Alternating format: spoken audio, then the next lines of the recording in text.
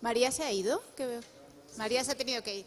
Bueno, pues el aplauso también iba para ella, luego se lo decimos. Muchísimas gracias a, a, todos porque me consta que habéis trabajado mucho con nosotros, con Benito.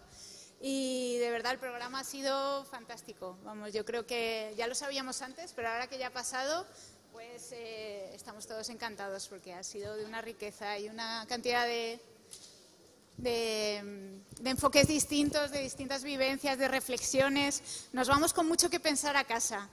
Bueno, esta, este es mi agradecimiento y ahora os dejo a vosotros que, que nos contéis qué os ha parecido, ¿no? ¿Qué esperabais? ¿Qué habéis visto ¿no? de, ese programa que tanto ha costado dibujar en un papel? Claro. Benito, si quieres tú? ¿Al revés? Qué difícil. Ahora os cojo las cosas que... Vuestras conclusiones las cojo yo primero. Eh, bueno, eh, para empezar, agradecer al Ministerio la oportunidad de participar desde dentro en, la organización de este evento. Ha sido una experiencia muy placentera, de estas que se aprenden un montón. Y gracias también a los compañeros del comité porque, bueno, mm, yo creo que lo mejor de todas estas cosas al final, aparte de las conclusiones y demás, cuando te vas conociendo a personas que son tan estimulantes y tan inspiradoras. O sea, veré por vuestros ojos un montón de cosas a partir de ahora. Y también agradecer a todos vosotros. Mm, al final, yo creo que la, la, conferencia inaugural con John Nogue dijo dos cosas que, por lo menos de donde vengo, me, me parecen esenciales. Una es que raramente encontramos foros que vayan más allá de las disciplinas, del fetichismo, de nuestros propios lenguajes y podamos encontrarnos intentando ponernos la piel del otro, conocer todas las cosas que están sucediendo, intentar hablar un mismo lenguaje. Después, viniendo de Sevilla, de la periferia, también es un placer enorme tener la oportunidad de compartir y aprender cosas mm, que, a las que normalmente eh, estamos como muy focalizados en cada uno de nuestros territorios y no tenemos la oportunidad de conocer de primera mano y de rozarnos de, de primera mano con todas estas cuestiones.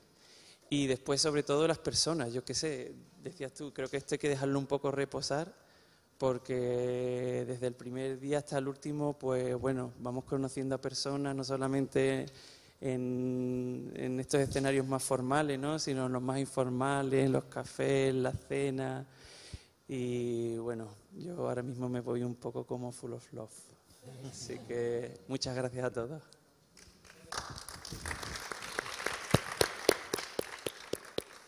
Em, bueno, deciros que ha estado tan apretado la agenda de trabajo y de escucha que no hemos tenido mucho rato de juntarnos a, hacer las conclusiones como de una manera más concienzuda y, un poco, yo creo que también esa sensación ¿no? de, superados en conceptualizar, en entender y en sentir cuáles son las informaciones que se cruzan, ¿no? que yo creo que son tan necesarias estas situaciones que atraviesan eh, conocimientos que, muchas veces mm, eh, nos cuesta verbalizar o entender qué es lo que ha pasado. Entonces, estoy de acuerdo con Sergio, mm, yo necesito más tiempo para entender.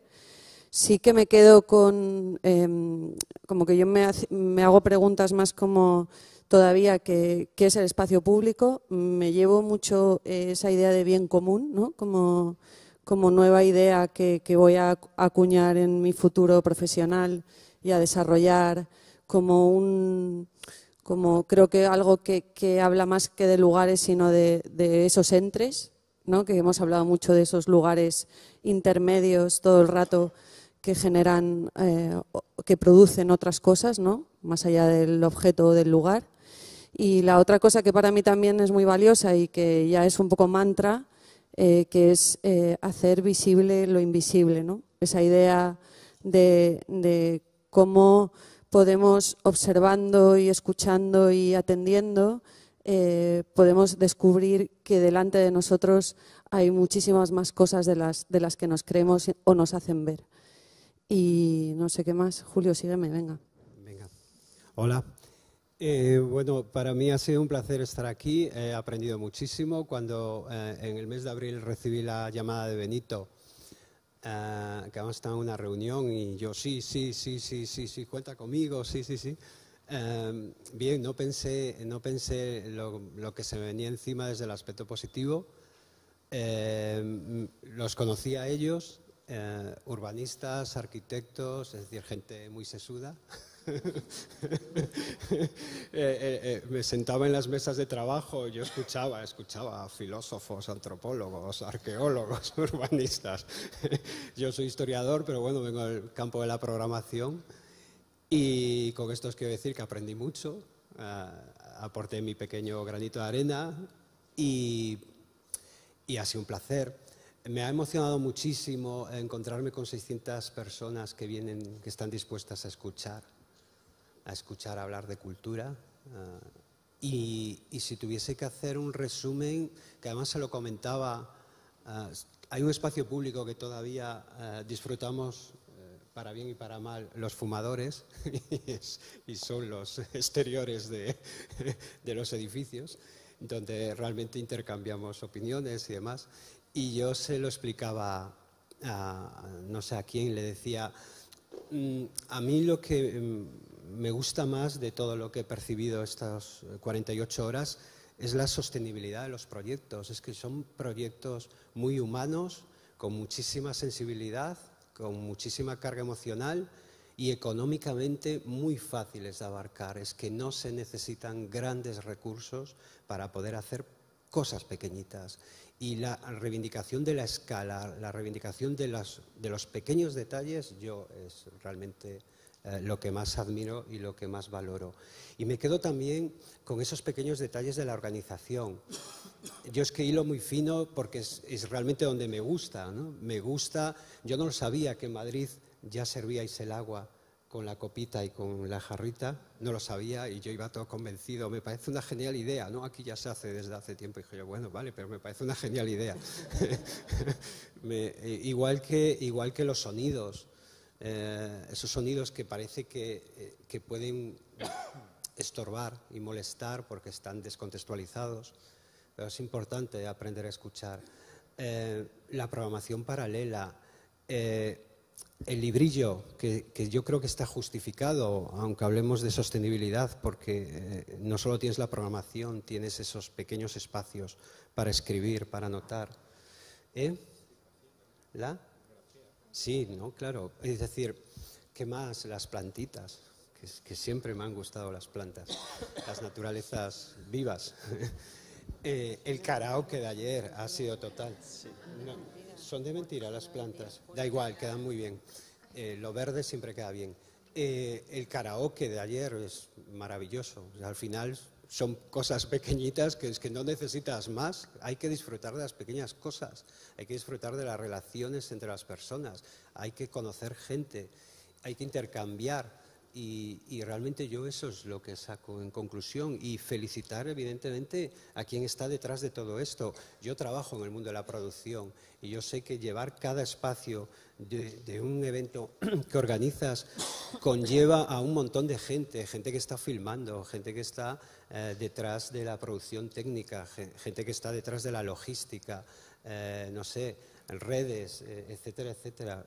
Y, sé que esto conlleva todo un esfuerzo, pero creo que es un esfuerzo que merece la pena y por lo tanto a la institución, a la persona o personas que están detrás, ya no solo del equipo de trabajo, sino de la coordinación de un evento así, eh, felicitarlos porque realmente yo es lo que hay que pedirle a, las instituciones, creo que es este tipo de cosas, es un dinero muy bien invertido y ojalá vosotras y vosotros marchéis tan satisfechos como yo. Ojalá nos veamos el año que viene. Un placer. Pues nada.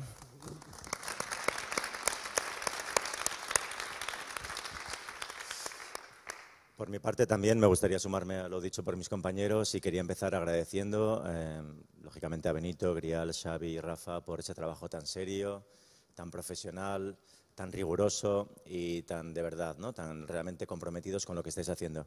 Las personas, en última instancia, somos determinantes siempre en, en las instituciones y en cualquier lugar y aquí se percibe y el proyecto tiene credibilidad gracias a vuestro trabajo. Gracias a mis compañeros porque he aprendido muchísimo de ellos.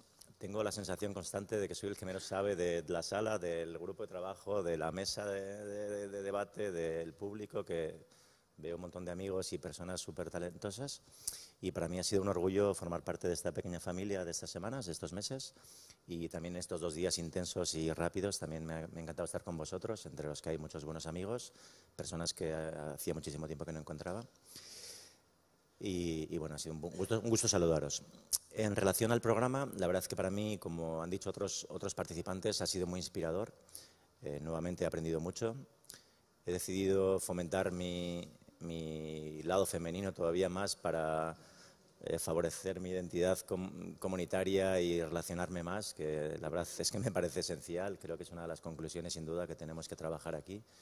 Y es que trabajando en colaboración vamos a poder hacer cosas mucho más importantes y, y que no tenemos que dejarnos llevar por la desesperanza de estos tiempos a veces complejos y que hay un montón de iniciativas interesantísimas eh, que ojalá tengan más recursos, que se hacen con muy pocos recursos, pero ojalá tengamos más recursos para desarrollar esas iniciativas eh, en calidad y en profundidad y con igual de rigor, pero con mucho más alcance. Y me parece que, que juntas, juntos, eh, lo podemos conseguir más fácilmente. ¿no? no creo que vaya a ser fácil. Pero la verdad es que he encontrado algunas personas extraordinarias y en, particular con el grupo que estuvimos debatiendo el otro día, me encantó la sensación de, confianza todavía en que podemos hacer cosas y que, y que se, se, podemos transformar mucho de lo que no nos gusta de estas sociedades, de estos espacios públicos, de nuestras calles, de plazas. Y me llevo con un montón de lecciones que seguramente iré destilando y que intentaré implementar en mi día a día, trabajando desde lo micro, que es donde me encuentro ahora más cómodo, e intentando ser coherente con mi visión del mundo, que espero que, que sea para, para favorecer un cierto bien común que, en el que creo. Y bueno, nada más. Le paso la palabra a Benita.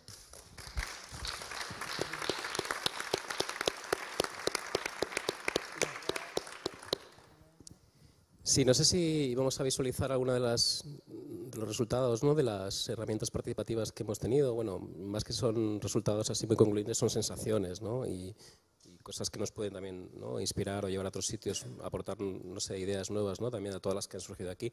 Un recuerdo muy especial para María Arana de Urban Bat, que ya justo iniciaba su festival Urban Bat, eh, cuyo seguimiento recomiendo justamente estos días, se que marchar. Un recuerdo muy especial para ella, que ha sido la quinta de las componentes del, del comité. Por mi parte, nada, eh, darle las gracias absolutas a ellos ¿no? y sincerísimas a ellos, también a, a, mis compañeros, por supuesto, a, todos los que habéis venido también, porque yo al final creo que es un espacio también de, de generar propuestas desde lo individual, donde la, la, institución, lo público, genera un cauce para que ese conocimiento, esas ideas vuelvan al común, ¿no? por diferenciar un poco ámbitos de acción. ¿no? Lo que estamos haciendo es generar un conocimiento que es comunitario, común, que no, que no, que no queda en lo público, sino que lo devolvemos a, hacia vosotros. Y, y, incidiendo con la idea de sostenibilidad, yo creo que mm, en los proyectos de pequeña escala, lo que decía Julio, yo creo que la sostenibilidad está sobre todo en las ideas, ¿no? en tener buenas ideas. Y creo que es un espacio para, para, generar muchas ideas, sugerir muchas, poder activar otras en nuestra cabeza a partir de la multiplicidad de propuestas, la diversidad de propuestas. Y creo que al final lo que hace la gente cultural es es relacionar cosas, ¿no? Y cuando lanzamos muchísimas ideas, cada uno eh, genera las suyas propias a partir de los sistemas de relación.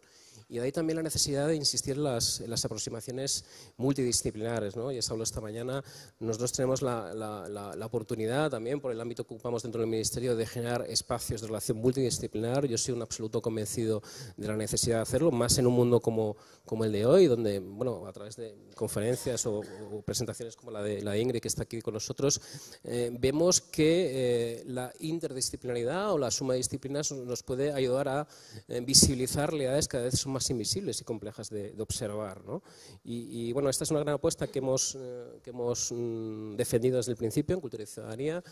Creo que en la edición de este año se ha visibilizado, se ha demostrado mucho más la, cantidad de propuestas. ¿no? Cuando pensamos en espacio público, mucha gente piensa en arquitectura, urbanismo o arte público, pero si echamos un vistazo al programa vemos que las posibilidades de agarrar o abordar el tema son infinitas, son infinitas, ¿eh? y no se, no se agotan aquí. Y, bueno, por lo demás, nada, eh, agradecer también a vosotros, a aquellos que nos siguen en la distancia en streaming, el esfuerzo, la participación, la energía, el cariño también que, demostráis hacia nosotros ¿no? y hacia la gente que ha colaborado con, con el Ministerio.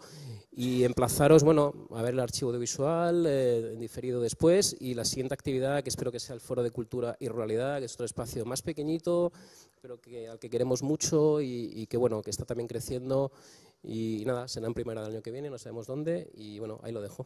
Muchas gracias.